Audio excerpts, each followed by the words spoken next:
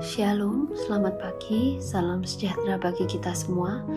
Tema renungan kita pada pagi hari ini berjudul Hilangnya Kasih Mula-Mula. Kasih mula-mula adalah kasih yang kita miliki saat kita mengalami perjumpaan pribadi dengan Tuhan. Kasih kali pertama di mana kita merasa jatuh cinta pada pribadinya dan kebenaran firman-Nya. Mari pada pagi hari ini kita sama-sama belajar dari kitab Wahyu 2 ayat 1 sampai 5. Di situ dituliskan bagaimana Tuhan Yesus menegur jemaat-jemaat di Efesus karena mereka telah kehilangan kasih mula-mula mereka. Mari kita pahami siapa sebenarnya mereka ini. Siapa sebenarnya jemaat-jemaat di Efesus ini dan bagaimana sifat dan karakter mereka. Dikatakan dalam kitab Wahyu 2 ayat 2a bahwa mereka adalah orang-orang yang rajin dan tekun dalam pekerjaan Tuhan. Mereka suka bekerja, mereka berusaha giat terus-menerus dalam pekerjaan Tuhan. Selain itu, jemaat-jemaat di Efesus juga adalah jemaat-jemaat yang kritis dan berkata tidak kepada orang jahat. Mereka tidak lekas percaya dan mereka tajam dalam menganalisa. Selain itu, mereka juga selektif dalam menerima pengajaran firman. Mereka betul-betul menyeleksi dan menyaring pengajaran-pengajaran, dan mereka bisa membongkar nabi dan rasul-rasul palsu. Selain itu, jemaat-jemaat di Efesus adalah jemaat yang sabar dan rela menderita demi nama Yesus. Mereka tahan menghadapi cobaan, tidak lekas putus asa, dan tabah dalam menanggung segala sesuatu yang tidak menyenangkan demi nama Yesus. Mereka tidak mengenal lelah, selalu bersemangat, dan tidak pernah mengeluh.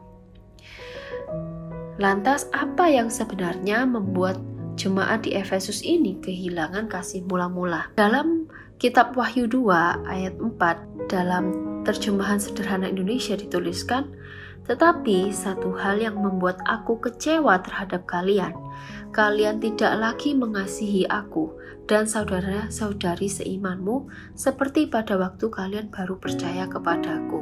Yang membuat jemaat di Efesus ini kehilangan kasih mula-mula mereka adalah karena hilangnya rasa membutuhkan Tuhan dalam hidup mereka. Mereka merasa mampu, merasa tidak kekurangan apa-apa karena merasa nyaman dan aman saja. Selain itu, mereka juga telah kehilangan hasrat pada Tuhan, sehingga mereka mengisolasi diri, jarang berkomunikasi dengan saudara seiman, bahkan mereka jarang berkomunikasi dengan Tuhan, tidak lagi baca firman, dan tidak lagi berdoa. Mereka juga merasa tidak layak karena telah kehilangan keyakinan kalau Tuhan sayang kepada mereka. Padahal Tuhan selalu sayang kepada jemaat di Efesus.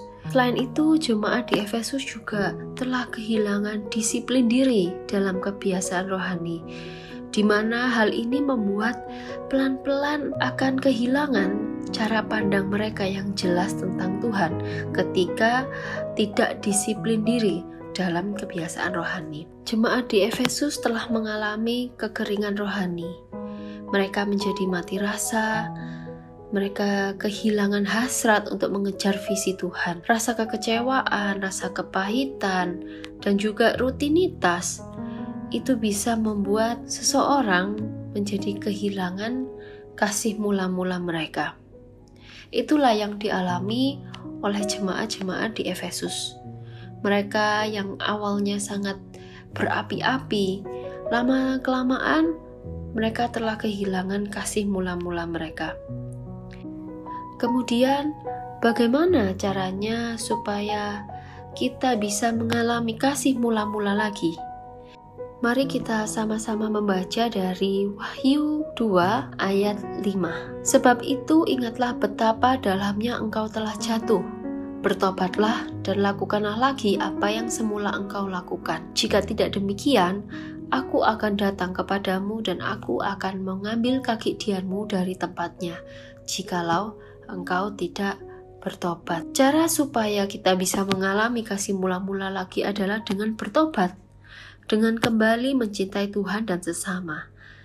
Lalu, mari kita lakukan lagi apa yang semula kita lakukan ketika kita mengalami kasih mula-mula.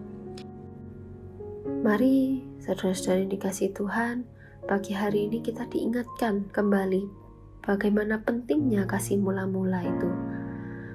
Mungkin kita masih bisa melakukan pelayanan, masih bisa melakukan pekerjaan Tuhan yang lain, tetapi sebenarnya itu semua tidak dilandasi dengan rasa cinta kepada Tuhan.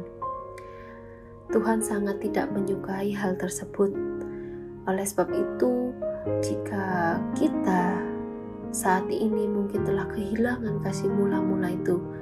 Yuk mari kita kembali, kita kembali bertobat, mari kita mencintai Tuhan seperti kita mengalami kasih mula-mula yang dulu. Mari kita senangkan hati Tuhan dengan mencintai Tuhan dengan segenap hati kita. Tidak hanya mencintai Tuhan saja, tetapi kita juga harus mencintai sesama kita yang ada di sekeliling kita dan mari kita lakukan lagi apa yang semula kita lakukan ketika kita mengalami kasih mula-mula kepada Tuhan. Amin. Tuhan Yesus memberkati.